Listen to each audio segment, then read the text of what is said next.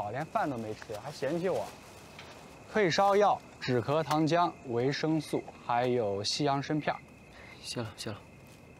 这次又是为了那个叫方学的女孩吧？知道还问？你这大包小包，动机也太明显了吧？管不了那么多了。不过你这个人性格吧，做什么事都藏着掖着，嗯，动机明显点。先走了。你就这么谢我的？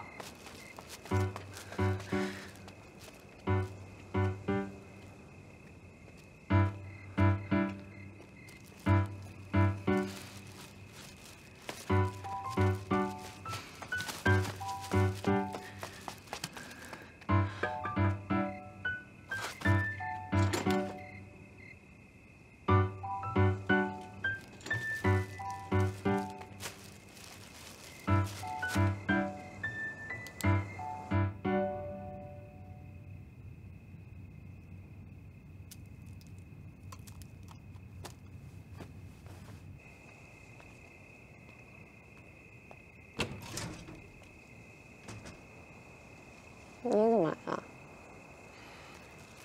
这些给你，好点了吗？零食我收下了，保健品我不吃，老年人吃。就是因为你一直这么逞强，才会变成现在这样。大家都在担心你呢，拿着吧。担心我？那你唱首歌给我听，唱首歌我就好。我不会唱歌。唱歌有什么不会的？今天程俊他们就唱为你写诗给我听了。唱歌有用吗？你都病成这样了，能不能别开玩笑了？唱歌怎么没有用了？我觉得唱歌是件特别温暖的事情。莫名其妙。怎么莫名其妙了？你才莫名其妙！我的生命生成这样，你还在这给我上课？放学，我这么东躲西藏过来给你送东西，不是为了和你吵架的。你能不能懂事一点？我不懂事是吧？赶紧走！烦你！